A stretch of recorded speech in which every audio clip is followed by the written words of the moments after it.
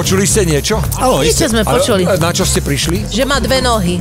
To je dobrý postreh. Pracuje v zábavnom priemysle? Nepracuje v zábavnom priemysle, ale teraz už je to v štádiu hobby. Teraz. Takže tento pán v minulosti, okrem toho teda hudby, mal aj iné povolanie, akému sa teraz venuje. Áno, áno. Inkognito. V pondelok o 20.35 na Jojke.